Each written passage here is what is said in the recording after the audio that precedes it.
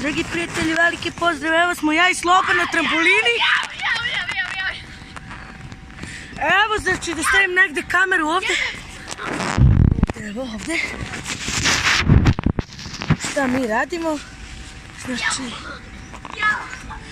Evo da vidite kako ja to radim.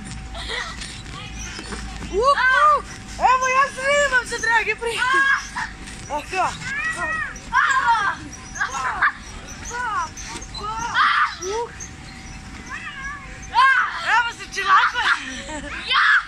50 hours. Whoop. Ah. No. Oh.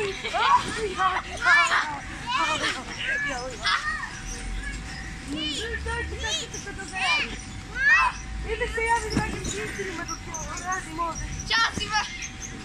Jao! Ali vidite dobro! E, sad ću baš da preskakućemo. Evo preskakujem. Evo, dragi prijatelji. Ovdje sam.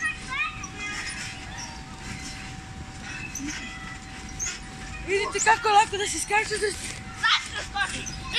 na jednu nogu. Evo. Ja mogu ovo da pretrečim, ali je glupo. Au, Drži, super. A slabo bre kako ti leti tašna. O.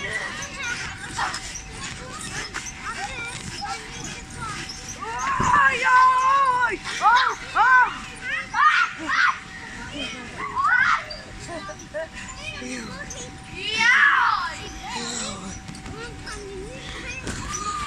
Ovo video je gotov, veliki pozdrav.